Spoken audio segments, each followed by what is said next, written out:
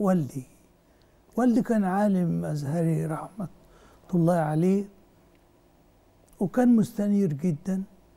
هو اللي علمني أسمع أم كلثوم وأنا صغير وعلمني عبد الوهاب إزاي وكان يقرأ القرآن بقراءته العشر. الله.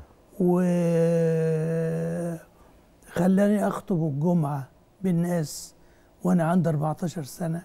آه. برضو ما هو ده كان اختبار تاني. فعايز أقول لك آه، يعني كلها حاجات أضافت ليا. وحتى لو كان في إحساس حاليا بالفقدان فأنا ده ده ده القدر والعمر وال- والزمن يعني.